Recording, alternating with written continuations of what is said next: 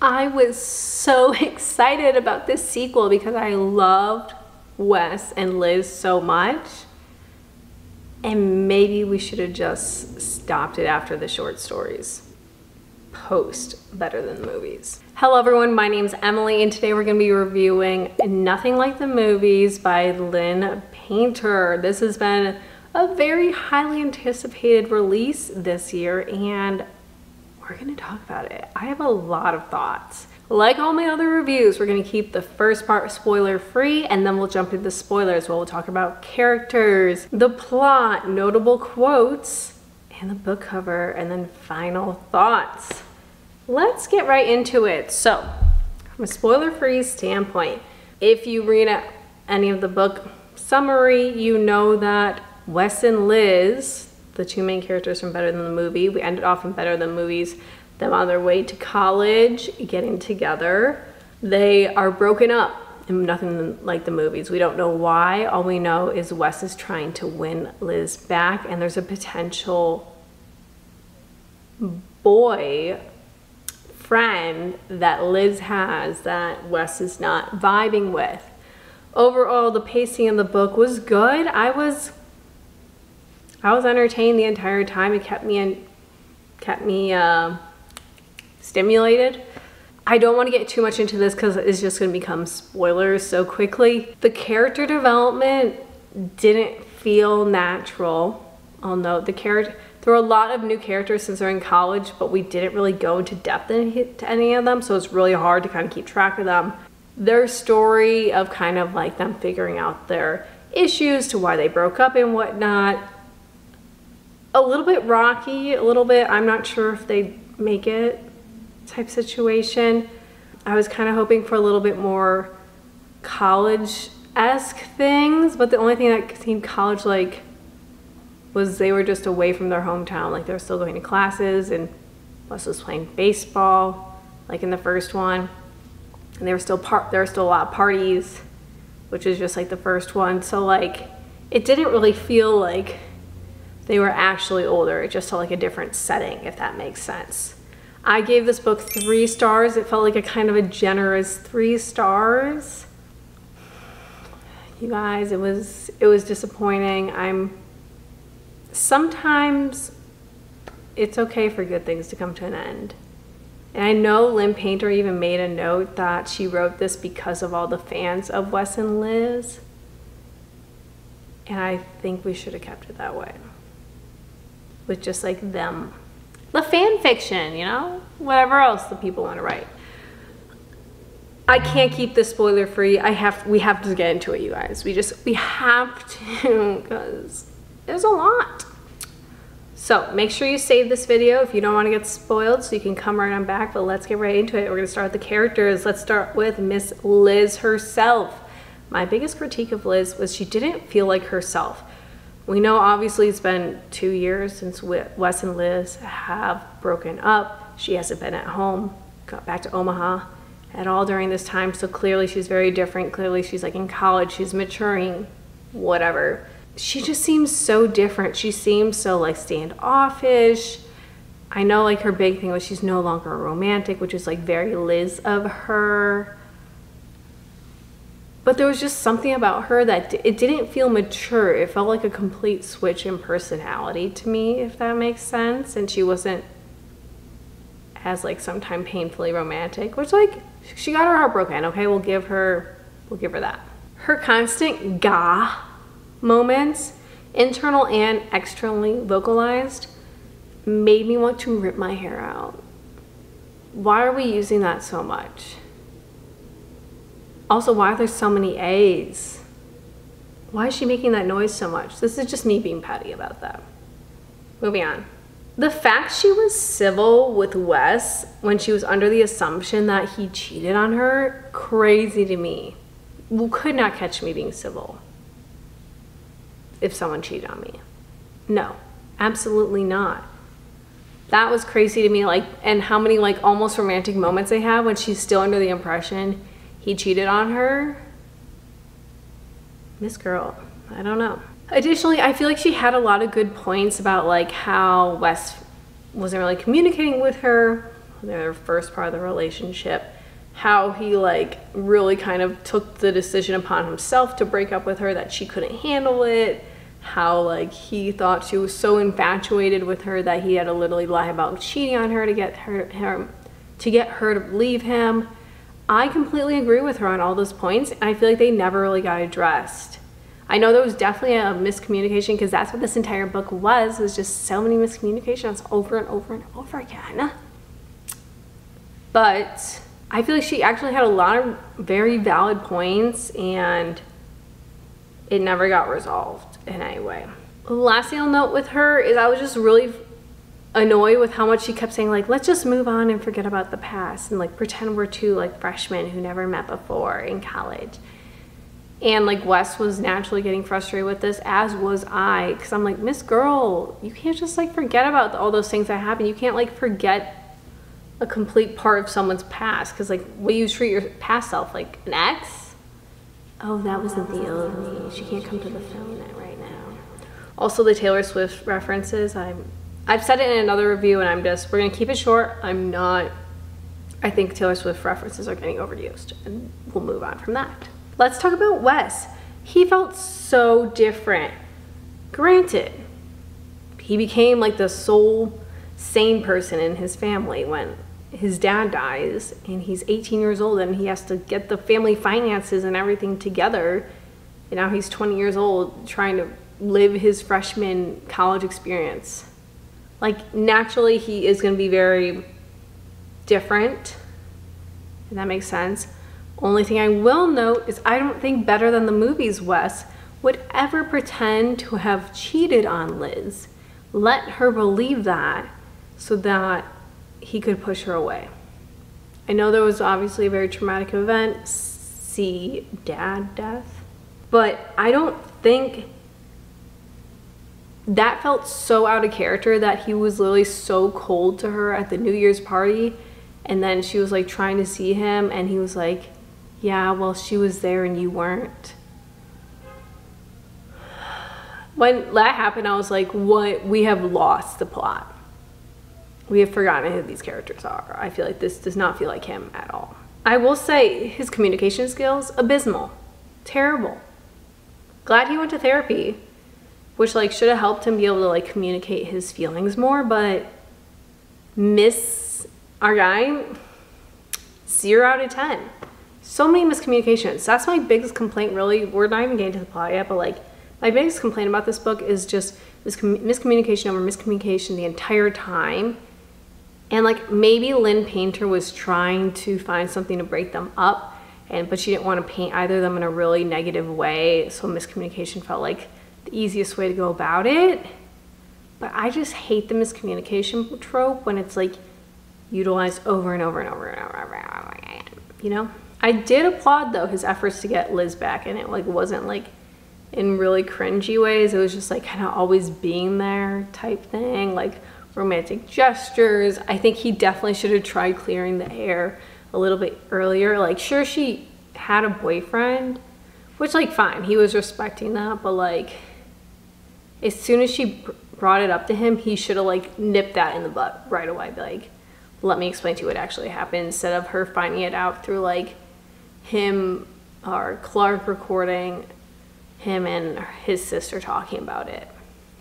Anyway, let's talk about our guy Clark. Shout out to him for going along with this stupid fake dating idea that Liz had and calling her out on her BS constantly when he was like, Wes is trying. Wes is like actually like seems like a good guy. Like granted, maybe Clark was like fanboying a little bit and like he didn't know the entire story obviously, but like there were so many times I was like, Liz. I don't know. Like both of them frustrated me so much, Liz and Wes. And honestly, Clark just seemed like a stellar guy. Good for him. Lilith are like producer, director, whatever we want to call her. I know Liz looked up to her, but like to ask a 20 year old kid who's two years post his dad dying very intimate details about this to make it look like a like small town hero comes back overcomes adversity and becomes star of like collegiate baseball team, it felt very pushy manipulative. I didn't really care for her that much. Campbell, we love a little soccer girl. She was one of Liz's new roommates. Honestly, were they hitting, was Miss Lynn hinting at a book between her and Wade? Maybe, potentially. That's really all I know about her. Leo, okay, honestly, I don't remember anything about his description. All I could think of was Leo Valdez from Percy Jackson, and that's who I literally thought was one of Liz's other roommates the entire time. We love our little trust fund, humble baby. Wade literally couldn't tell you anything about him besides he's on the baseball team and he likes Campbell. That's all I know about him. AJ, also don't know much about him. Seems like one the, like a, a genuine guy. There were a lot of baseball people. Ross, I think is another one. Was he the coach? I don't know. He seemed fine once again, a lot of characters that I like didn't really know that much about, so I couldn't remember them very well. Wes's mom. So I know we all process grief differently, but to literally abandon your children, like financially, geographically, emotionally, is crazy. I'm glad she went to therapy, but like, you cannot do that. Find a support system and like you have like you had children technically they were both adults like no no the, the sister was younger than 18 you have a child you are legally bound to take care of. I did not care for how she responded to that. Wes's dad i don't really remember him being such a jerk and better than the movies but like all of wes's memories of him are like him like being mean to him about like baseball. And he's like get your head in the game. Like what was that? Blah, blah, blah, blah, blah. like this kid was in high school chill relax. And then liz's dad and her stepmom hemela hemela hemela Hel- helena love them so cute. We love a little supportive and loving kind parental figures. Let's get into the plot. Overall i don't have much to say about the plot because honestly not much happened. It was just constant miscommunication over miscommunication over miscommunication where like like I said, I feel like Lynn was just trying to find a way to break them up that didn't put either of them really at fault and it was just this now big mis like painful miscommunication mess. I'm not going to go into the specifics of like the party and the miscommunication with like why they broke up and they're failing to communicate and whatnot. Like it's just all a lack of communication and trusting the other person in my mind. And with how Wes and Liz ended, I don't think they'll last. Like they literally brought up multiple issues of like what was going on on either side, and they never really resolved it. It was just always this like, but we're us, and I love you, and no one else. Like I haven't been the same because of you, so naturally we must be together type situation. There was no discussion of change. Like how can we communicate better? How can I support you differently? How can we like if something like this were to come up again, how can we go about this? How can we make sure that we're there for each other? There really was no discussion about that. And they just like kind of like got back together. Cause like it's just like they resorted to old times, which doesn't sound healthy to me. Also, did Liz ever tell Wes she was fake dating Clark? I like don't remember this. I literally read this book yesterday and I'm thinking about it and I'm like, literally, Liz, you're doing the exact same thing. You're fake dating to the guy you were fake dating with to make someone else jealous or like to get rid of whatever in the first book. Very original, nice. Overall, I liked Liz pursuing music and filmography. The word. I'm glad Wes was able to play baseball again without like that mental block from his dad not being there and him thinking he like took out his dad. That's a lot on an 18 year old. Did that ever come up in therapy? I feel like you should address that. But overall, I just feel like so much, so much happened, yet nothing happened at the same time. And honestly, like the big romantic gestures, I just like, I mean, fine, she was like in a relationship with boyfriend, so why should I have been doing that? But like, I don't know. He was just like always his like cocky self to her and like acted like oh, two years ago I broke your heart and I pretended to cheat on you, I'm just gonna like flirt with you still. it just felt not like them. And I was very confused. Let's talk about the quotes. We have quite a few, you guys. Let me pull them up. We got 23 quotes. Let's start right from the beginning. Oh, this was just like the initial shock of like, from Wes's standpoint, how everyone else's futures changed from his and his pivoted. And he's like, when my dad died, two weeks after I moved in at UCLA, literally imagine like two year, two weeks into your freshman year, you're like, dad dies. He came home from the, Wes came home from the funeral and never left, deciding to bail on school and everything that the future held for me as if I had a choice. Now that it had been a few months since his heart attack, I was firmly settled into full-time employment at the grocery store with a side hustle as an Uber driver. And I was just like, oh my gosh. Next quote, this just like, you start off with literally finding this out. You're at the New Year's party and like Wes is so cool to Liz. And then it just goes like two years later. And I was like, oh my gosh. All right. Okay, we're time jumping. Scary. Oh, the next quote. So we're talking about, so Wes is talking to his coach, and his coach is like, had fat cells yet? Not yet. Well, don't, he replied, give me a smirk. That'll stuff, that stuff will clog your arteries and give you a jiggly ass. Stick to Bruin meal plan shit. I am. I'd heard about a lot about fat cells, but I was too hyper focused on performance right now to put a lot of garbage in my body. Let's not demonize food. It's 2024. Food does not have a moral value. All food serves a purpose, and we're not going to demonize it. I'm disappointed in that, Lynn Painter. From a dietitian standpoint, very disappointed to read that.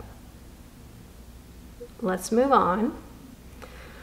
Our next quote, just something nitpicky I didn't enjoy. This might have changed actually in the original, in the published copy, but I'm not sure. It's just a comment from Wade. There's like nothing significant about it. They're talking about Liz. And, oh, he's talking to Liz. And he says, You're the most unromantic female I've ever met, Books. Bur, Bur Books? Burboo? Books? Boo? I don't know how to say her next name. B U X. Female's not a noun it's incredibly dehumanizing to call women females. There have been many books written about this, especially like black women have written about how this is insulting because like there's a history behind men calling women females to dehumanize them. Just say girl or woman. None of these quotes have been very helpful to the plot, but let's go on. Next quote. Oh, this made me, this made me literally want to like rip my hair out. This quote is when Wes and Liz reconnect at a party that's actually hosted at Liz's apartment. And Wes is like, oh, I want, is it okay if we like talk for a second? And Liz is like, oh no, I don't think that, I don't think Clark would like that. Clark is like one of her roommates and good friends. He works in filming with her and everything and helps out with like all those, the athletics, filming and whatnot. And she goes, because my boyfriend gets very jealous. It was at this moment, I'm like, we're doing this again? We're doing this again, aren't we? Okay. So there wasn't actually a, a boyfriend per the book summary. It's just more fake dating. Liz, you gotta think of a new trope to use. Next one, just this next quote is literally just like Clark being like, what the F is happening right now? And I was like, me too, Clark, what is happening? He's like, what do you mean we're dating? Let's move on.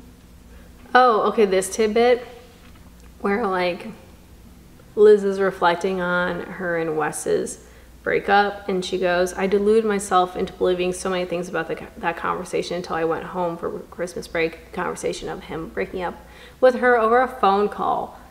Very much jerk move. Then i learned on new year's day the real reason why he dumped me. It had nothing to do with his father or him somehow still loving me and everything to do with a beautiful girl named ashley. I've been a foolish silly hearted little love lover back then. And i was like oh no. I was like literally my first thought when I read this, I'm like, this is gonna be another freaking miscommunication. But no, this was actually just Wes spreading lies. Good, good. This is just the first gah experience that I witnessed, and I'm like, why are we using this so much? Next quote is literally that is too gah, gah. Why would someone say that? Like I'm trying to, she's saying, gah, why am I, why are you so stubborn about this? Gah, gah. I feel like I'm not doing this right from what she's going for, but that's how I was reading it, like gah, gah, gah, gah. I'm losing my mind. Okay, moving on. Okay, this was a cute little. Would I even say this is cute? I don't know. This was like a semi Liz and Wes moment that reminded me of them, what they were in Better Than the Movies. When she's like actively trying, she's leaving a library and they're texting, and she's like, he's like, oh, I'm also here. And she's like, oh my gosh, I gotta evacuate the area before he, uh, he sees me. And she, he texts her, the speed in which you're descending those steps is terrifying. Slow down before you trip. So, like, clearly he saw her trying to escape him. And I was like, lol. That did make me giggle a little bit. Oh my gosh. So, Lilith has been pushing for Wes to do this huge interview, like, about his dad's death, how that impacted him playing baseball, going home, taking care his family coming back to UCLA, all that stuff. And when Clark asks him in this interview, because he his like requirement was Liz did it, Liz halfway through couldn't handle it and left, and Clark took it on. And Clark goes, "What made you understand that it wasn't the right time to be playing baseball? How did you decide to pack up and leave?" And Wes goes, "When my mom left and wouldn't come home." And when I read that, I was like, "This is kind of giving Katniss Everdeen and her mom." Which like is interesting to me because Katniss really resents her mom, but Wes doesn't. I don't know would say like resents his mom as much. The next quote is just going into even more like teasing out like what led them to like really solidify that breakup, that why Liz doesn't like Wes, and then just like her talking about how her best friend questioned if Wes have to actually cheat on her, and apparently on New Year's Day he looked at her in the eye and said that he did, and I'm like, what? Like better than the movies Wes would literally never. Next quote. Oh, this was this was bad. So Wes, this is the last conversation Wes and his dad have on the phone because his dad was coming to come to the exhibition game at UCLA, and Wes didn't want him to come because he creates a lot of stress in Wes's life. And it's literally just them like chatting, and like Wes is clearly trying to get him to like not come. He's like, oh, it's a long drive. You don't have to come. Just an mission game. And the dad goes, if I don't make the drive, kid, who's going to make sure you're ready? Not your coaches. They've got you doing yoga and writing in those goddamn journals instead of throwing the baseball, dad. And not you. No, you'll be playing grab ass with the red head instead of focusing. Wes goes, I don't want you to come, okay? I'm already stressed about this game, so the last thing I need is you in my head. Just stay home for this one. And then his dad says, Listen, kid, you've got to channel that psychological nonsense and stop being a pussy. Do you think? He said, Just stay away, okay, dad?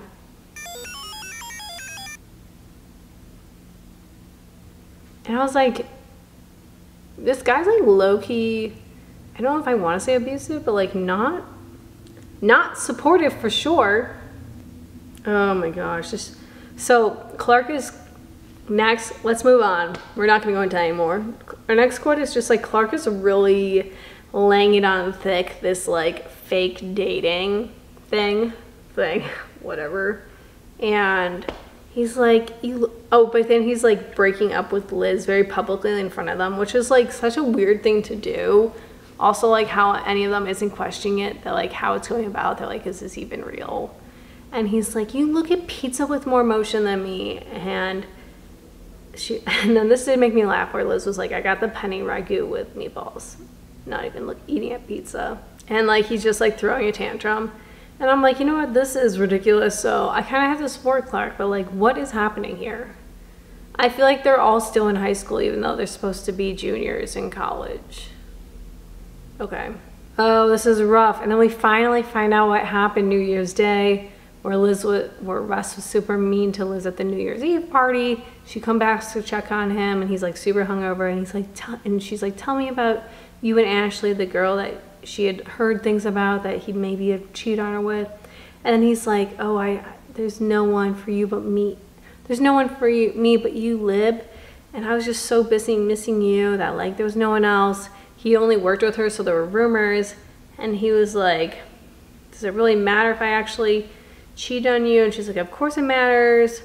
And then he's like, I don't know, it was a blur. I can't remember exactly when one thing ended and the other began. He said this to Liz, like basically insinuating there might have been cheating. And then he's like, well, she was here and you weren't. And she's like, I hate you. And I'm like, yeah, that's a completely valid response. He, I like know he was going through a lot, but like maybe he didn't handle it well in the moment, but he should have come clean about it very quickly on, like after that, if he actually like cared about Liz. Anyway. Oh, this next one is just like Liz having a meltdown about how Wes was like setting up something romantic, but like he fell out of a window and like almost hurt himself and she's like, oh, well, little Liz who would have loved this, oh yeah, she's dead. It was like a direct Taylor Swift quote. I said I wouldn't make any more comments about that, but that was just my last one, I promise. Now I'm done after that. Oh, the next one is Clark saying that he's potentially looking for someone. I feel like Clark was low-key interested in Sarah, Wes's sister. How old is she? I think it'd only be a two-year difference, I hope. Don't want any weird things like that. Oh, this next part is just like Liz refusing to communicate with Wes and like Clark was calling her out on it and she literally like turned off her phone. And like, you know what? fine, you're entitled to respond however you like, but like, I feel like there's potentially a mature way to go about it. Also, at this point, did she know he cheated? Did they have that conversation yet? I think they had, did have it, and she like still was like figuring out her feelings. And her dad made a good point. You don't like they weren't involved. She didn't have to figure out her feelings for him. But it was just like, Liz, what are you doing? What's happening? Oh, and then this last part where like Liz was confessing her love to Wes after he gets hit with like a baseball and like potentially bruises a rib. It was just like the classic, another miscommunication kind of, they're all like stems of communication issues where he's listening on her and she doesn't know that he's there, whatever. I'm now realizing I don't really have many positive quotes from this book because I just, I feel like it was a lot of the same thing and a lot of nothing.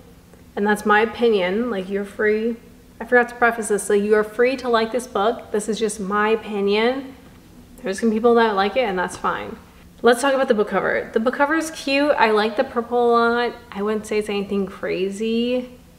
There were some things in it that like, I thought that better than the movies on the cover, like some of the cartoons like were from, like were from direct parts of the story.